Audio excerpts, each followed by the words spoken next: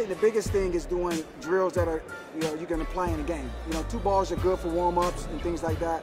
Anything that, that has you going at a pace where you change speed, change direction, I think that's the biggest thing. It's really only four, you know, simple dribble moves. A crossover between the legs, behind the back, and spin. Inside out and things like that are counter dribbles. So if you can get the four down and then be able to have combinations, but the biggest part is changing speeds and changing direction. Some of the best guards I played against, Mark Jackson, wasn't really quick, but he knew how to change speeds and change direction with their dribble moves. And uh, if guys can do that, be able to get yourself past the defender, then you have the advantage.